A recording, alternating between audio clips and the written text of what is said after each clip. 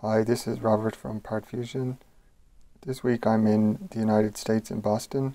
Last weekend I was invited to attend a prom themed party and I wanted to try and make something with my new So RGB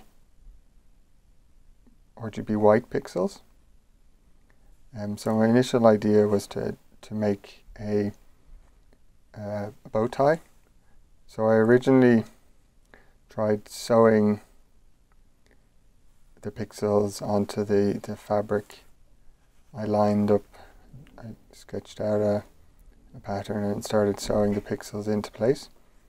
But I wasn't happy with the alignment when you have such a geometric pattern. I was attempting any small discrepancy was quite noticeable.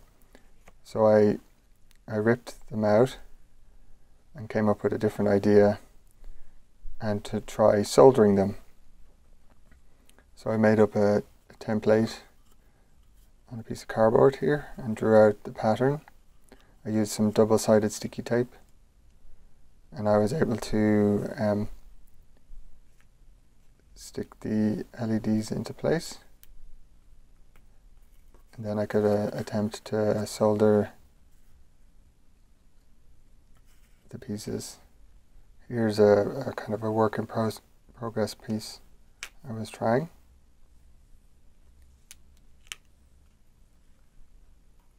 So you have to connect, um, I think this is the positive rail together and then the, the ground rail along each of the, the pixels and then form the data between the in and out, in and out.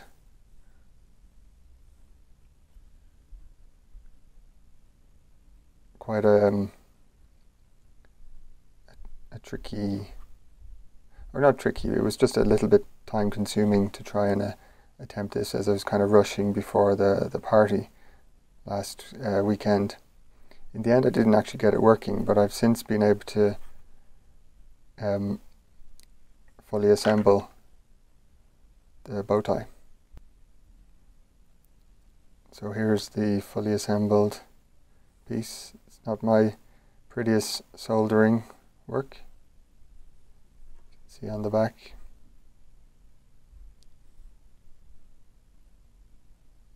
Didn't have access to all the tools I would have been at home. Um, so the, the data in is this side and it goes in, snakes around